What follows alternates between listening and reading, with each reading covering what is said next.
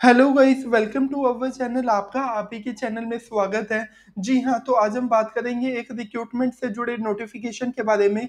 जैसा आपके सामने है, रेलवे द्वारा भर्ती का नोटिफिकेशन जारी किया गया है। प्रदेश में अप्रेंटिस के लिए नंबर ऑफ़ पोस्ट है पाँच हज़ार छियासठ। आवेदन स्टार्ट है तेईस सितंबर से। लास्ट जो डेट है वो है बाईस अक्टूबर।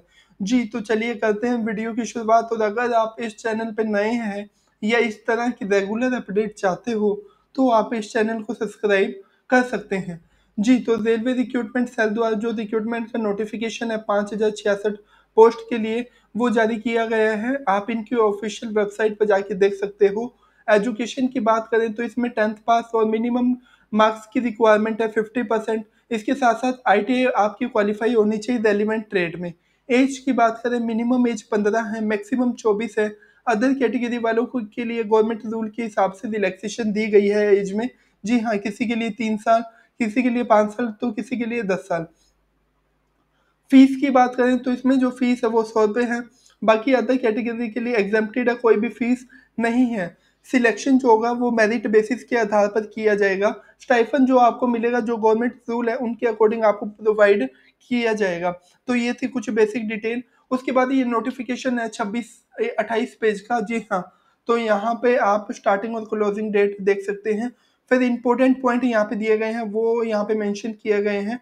फिर एलिजिबिलिटी कंडीशन क्या क्या है क्या क्या रिक्वायरमेंट है, चाहे एज से रिलेटेड क्वालिफिकेशन से रिलेटेड पोस्ट के रिगार्डिंग वो आप पूरा चेकआउट कर सकते हो जो जो बेसिक डिटेल यहाँ पे बताई गई है। पेमेंट या फ़ीस के बारे में यहाँ पे बताया गया है। मेडिकल फिटनेस और फ़िज़िकल स्टैंडर्ड को यहाँ पे डिफाइन किया गया है। क्या क्या रिक्वायरमेंट है? मोड ऑफ़ सिलेक्शन क्या रहेगा? ट्रेनिंग पीरियड और स्टाइफन के बारे में यहाँ पे मेंशन किया गया है। और मोड ऑफ़ एप्लीकेशन क्या रहेगा? उसके बारे में यहाँ पे बताया गया है। डॉक्यूमेंट कौन कौन से चाहिए जब भी आप अप्लाई करते हो?